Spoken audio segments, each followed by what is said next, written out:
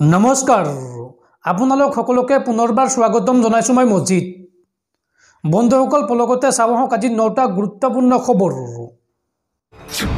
প্ৰথমটো খবৰ মুছলমানক তিল তিলকৈ ধ্বংস কৰাৰ ষড়যন্ত্ৰ কৰিছে মুখ্যমন্ত্ৰীয়ে।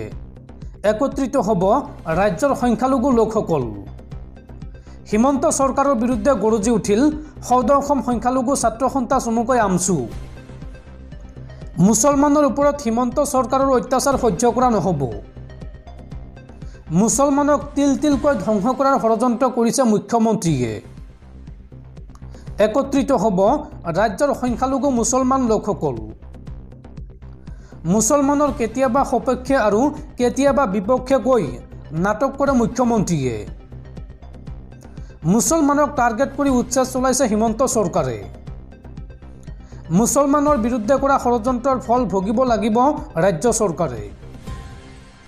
চবকা চাথ চবকা বিকাশৰ কথা কোৱা চৰকাৰৰ দিনত অসুৰক্ষিত মুছলমান লোকসকল। ৰাজভৱন ঘেৰাও কাৰ্যসূচী গ্ৰহণ কৰিব আমচুৱে। হিমন্ত চৰকাৰৰ বিৰুদ্ধে গৰজি উঠিল সৌদ অসম সংখ্যালঘু ছাত্ৰ সন্থা চমুকৈ আমচু। লখিমপুৰৰ নাওবৈচাত আমচুৰ তীব্ৰ প্ৰতিবাদী আন্দোলন। মুখ্যমন্ত্ৰীক কঠোৰ ভাষাৰে সমালোচনা আমচুৰ সভাপতি ৰেজাউল কৰিম চৰকাৰৰ। ৰেলপথ ৰাজপথ অৱৰোধ অসম বন্ধৰ দৰে কাৰ্যসূচী হাতত ল'ব সৌদ অসম সংখ্যালঘু ছাত্ৰ সন্থা চমুকৈ আমচুৱে। পৰৱৰ্তী খবৰ। অৱশেষত ভুল স্বীকাৰ কৰি ক্ষমা বিচাৰিলে কোকৰাঝাৰৰ জিলা উপায়ুক্ত বৰ্ণালী ডেকাই। অৱশেষত ভুল স্বীকাৰ কৰি ক্ষমা বিচাৰিলে কোকৰাঝাৰৰ জিলা উপায়ুক্ত বৰ্ণালী ডেকাই। বৰ্ণালী ডেকাই চতুৰ্থ বৰ্গৰ কৰ্মচাৰী দীপক দাসক প্ৰহাৰ কৰিছিল। দুপৰীয়াৰ আহাৰক কেন্দ্ৰ কৰি উপায়ুক্তই প্ৰহাৰ কৰিছিল কৰ্মচাৰীজনক। আৰু ইয়াৰ পাছতে কৰ্মচাৰীগৰাকীৰ কন্যাই দাখিল কৰিছিল এজাহাৰ। এজাহাৰ দাখিলৰ পাছতেই কোকৰাঝাৰ কোকৰাঝাৰৰ আৰ এন বি চিকিৎসালয়ত চিকিৎসাধীন হৈ থকা দীপক দাসৰ ওচৰলৈ গৈ ক্ষমা খোজে জিলা উপায়ুক্ত বৰ্ণালী দাসে। পৰৱৰ্তী খবৰ।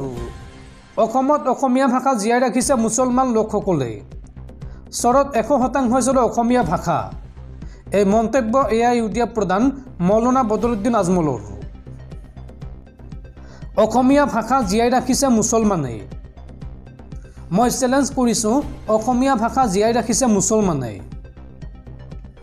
গোটেই চৰত এশ শতাংশই চলে অসমীয়া ভাষা।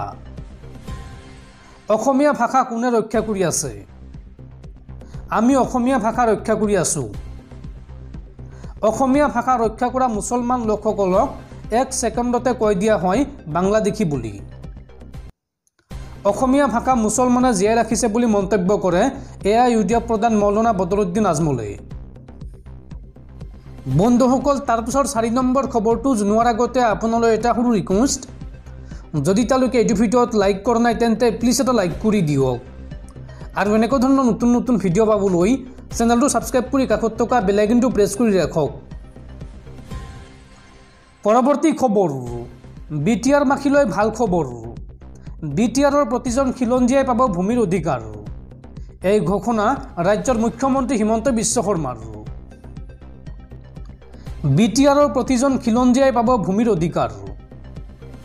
সন্দেহজনক লোকৰ বাহিৰে প্ৰতিজন লোকে লাভ কৰিব ম্যাদী বৰ্তা। বি টি আৰ বাসীলৈ ভাল খবৰ দিলে মুখ্যমন্ত্ৰী হিমন্ত বিশ্ব শৰ্মাই। বি টি আৰৰ চৰকাৰী বিষয়াই বি টি আৰৰ নিৰ্দেশৰ বিপক্ষে যাব নোৱাৰিব। বি টি আৰৰ নিৰ্দেশৰ বিপক্ষে গ'লেই কঠোৰ সিদ্ধান্ত ল'ব বি টি আৰ প্ৰধানে। বি টি আৰ গঠনৰ পূৰ্বৰ সকলেহে লাভ কৰিব মাটিৰ অধিকাৰ। মিচিঙৰ কাৰণে যি কৰিছোঁ বড়োসকলৰ বাবেও আমি সেই কাম কৰিম। এই মন্তব্য কৰে ৰাজ্যৰ মুখ্যমন্ত্ৰী হিমন্ত বিশ্ব শৰ্মাই। পৰৱৰ্তী খবৰ আপোনাৰ ধন জমা আছে নেকি এল আই চি আৰু এছ বি আইত যদি আছে তেন্তে সাৱধান কিয়নো গৌতম আদানীৰ লগে লগে ডুবিব পাৰে এই দুই প্ৰতিষ্ঠান। বিশ্বৰ ধনী ব্যক্তিৰ তালিকাত নাম থকা আদানীৰ বেয়া দিন চলিছে। যোৱা কেইটামান দিনত আদানীৰ সম্পত্তি হ্ৰাস হোৱাৰ লগে লগে আদানী গ্ৰুপৰ অন্তৰ্ভুক্ত কোম্পানীবোৰৰ শ্বেয়াৰো হ্ৰাস পাইছে। ধনী ব্যক্তিগৰাকীৰ সাম্ৰাজ্য এতিয়া ধ্বংস হোৱাৰ পথত। প্ৰতিষ্ঠানৰ শ্বেয়াৰৰ মূল্য হ্ৰাস পাইছে যাৰ বাবে দুদিনত আদানীৰ এক দশমিক সাত লাখ কোটি টকা লোকচান হৈছে। কিন্তু আদানীৰ লগে লগে সংকটত পৰিছে কোটি কোটি ভাৰতীয়। যিসকল লোকে এল আই চি আৰু ভাৰতবৰ্ষৰ সৰ্ববৃহৎ পাব্লিক ছেক্টৰৰ বেংক এছ বি আইত টকা জমা কৰিছিল সেইসকল লোকৰ বাজিছে বিপদ ঘণ্টা। আদানী গ্ৰুপৰ শ্বেয়াৰ হ্ৰাসৰ লগে লগে এল আই চি আৰু এছ বি আইও বিপদৰ সন্মুখীন হৈছে। কিয়নো আদানী গ্ৰুপত এল আই চিয়ে বিনিয়োগ কৰিছিল সত্তৰ হাজাৰ কোটিৰো অধিক টকা আৰু এছ বি আইয়ে বিনিয়োগ কৰিছিল হাজাৰ হাজাৰ কোটি টকা।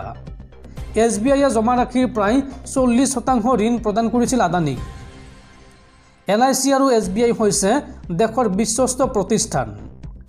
দেশৰ কোটি কোটি জনতাৰ ধন জমা ৰাখে এই প্ৰতিষ্ঠান দুটাত। আদানী গ্ৰুপৰ এই লোকচানৰ বিপৰীতে এল আই চিয়ে হেৰুৱালে ওঠৰ হাজাৰ কোটি টকাৰো অধিক।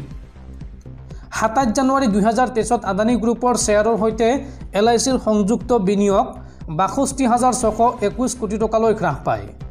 চৌব্বিছ জানুৱাৰী দুহেজাৰ তেইছ তাৰিখে ইয়াৰ পৰিমাণ আছিল একাশী হাজাৰ দুশ আঠষষ্ঠি কোটি টকা। আমেৰিকান গৱেষণা প্ৰতিষ্ঠান হিডেনবাৰ্গৰ প্ৰতিবেদন প্ৰকাশ পোৱাৰ পাছতেই ভাৰতৰ বিখ্যাত উদ্যোগপতি গৌতম আদানীৰ কোম্পানীবোৰৰ শ্বেয়াৰ হ্ৰাস পাবলৈ আৰম্ভ হৈছিল বা হ্ৰাস হৈছে। পৰৱৰ্তী খবৰ ৰাজ্যৰ সাধাৰণ জনতাৰ মূৰত পুনৰ মাধমাৰ। ফেব্ৰুৱাৰী মাহৰ পৰা বাঢ়িব বিদ্যুৎ মাচুল।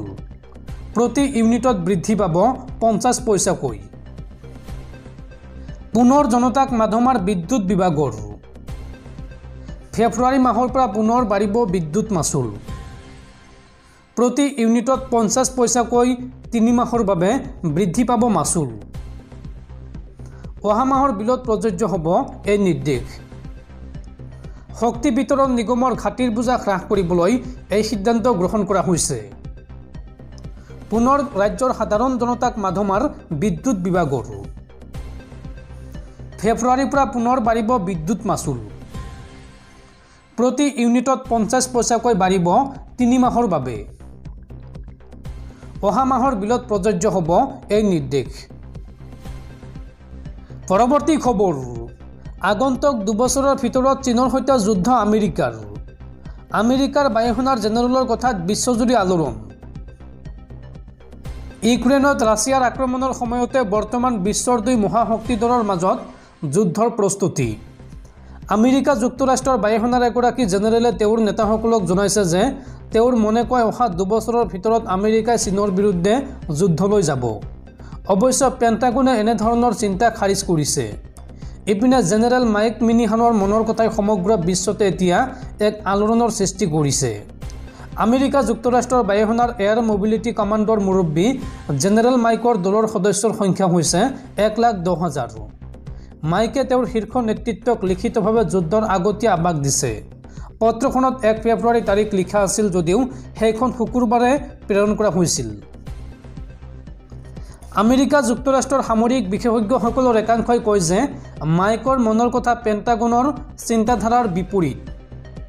কিন্তু আমেৰিকা যুক্তৰাষ্ট্ৰৰ সামৰিক বাহিনীৰ একেবাৰে শীৰ্ষত চীনৰ সৈতে সম্ভাৱ্য যুদ্ধৰ বিষয়ে কেনে চিন্তাৰ উদ্বেগ হৈছে সেয়া বুজিব পাৰি। এই চিন্তাৰ কেন্দ্ৰবিন্দু হৈছে টাইৱান আমেৰিকাই দাবী কৰিছে যে চীনে তাত বলপূৰ্বকভাৱে নিয়ন্ত্ৰণ স্থাপন কৰিবলৈ চেষ্টা কৰি আছে যিটো দিনক দিনে বিডেন প্ৰশাসনৰ বাবে চকুৰ কোটাত পৰিণত হৈছে। মাইকৰ মনৰ কথাটোতো তাৰেই সুৰ শুনা গৈছে। মাইকে ধাৰণা কৰে যে টাইৱান আৰু আমেৰিকা যুক্তৰাষ্ট্ৰ দুয়োখন দেশে দুহেজাৰ চৌব্বিছ চনত ৰাষ্ট্ৰপতি নিৰ্বাচনলৈ যোৱাৰ সময়তে চীনে অহা বছৰ টাইৱানৰ ওপৰত সামৰিক পদক্ষেপ আৰম্ভ কৰিব পাৰে। তাতে যুদ্ধ গঢ়ি উঠাৰ সম্ভাৱনা আছে। কিয়নো ইলেক্ট্ৰনিক সঁজুলিৰ অন্যতম উপাদান অৰ্ধ পৰিবাহীৰ পৰা আৰম্ভ কৰি আমেৰিকা যুক্তৰাষ্ট্ৰৰ বিভিন্ন ক্ষেত্ৰত টাইৱানৰ সৈতে হাতত হাত ধৰি আগ আগবাঢ়িছে। সেয়েহে টাইৱানত চীনৰ আক্ৰমণ আমেৰিকা যুক্তৰাষ্ট্ৰৰ বাবেও এক বিপদ সংকেত। অৱশ্যে পেণ্টাগনে মাইকৰ মন্তব্যক সঁচা বুলি স্বীকাৰ কৰা নাই। আমেৰিকা যুক্তৰাষ্ট্ৰৰ এগৰাকী প্ৰতিৰক্ষা বিষয়াই কয় যে এনে মন্তব্যই চীনৰ প্ৰতি বিভাগটোৰ মনোভাৱ প্ৰতিফলিত নকৰে। ঘটনাক্ৰমে চীনৰ লক্ষ্য হৈছে টাইৱানৰ ওপৰত সম্পূৰ্ণ নিয়ন্ত্ৰণ সাব্যস্ত কৰা। সেয়েহে জি জিনপিঙৰ দেশখনে যে বল বল প্ৰয়োগত কুণ্ঠাবোধ নকৰিব সেয়া বৰ্তমানৰ কাৰ্যকলাপৰ পৰাই স্পষ্ট। সামৰিক বিশেষজ্ঞসকলে বিশ্বাস কৰে যে তেনেহ'লে আমেৰিকায়ো পিছ পৰি নাথাকিব। কিন্তু সঁচাকৈয়ে যদি যুঁজখন আৰম্ভ হয় তেন্তে কি হ'ব? আন্তৰ্জাতিক অৰ্থনীতিৰ কেন্দ্ৰ হিচাপে ৰকেট গতিত উঠি অহা চীনক আমেৰিকা যুক্তৰাষ্ট্ৰৰ বাবে বাধা দিয়াটো সম্ভৱ হ'বনে? একেদৰে এই মুহূৰ্তত বিশ্ব অৰ্থনীতিৰ মেৰুদণ্ড মেৰুদণ্ড আমেৰিকাৰ সৈতে পোনপটীয়া সংঘৰ্ষত চীনৰ কি লাভ হ'ব? এনে বহু প্ৰশ্ন আছে। উত্তৰটো অৱশ্য সহজ নহয়।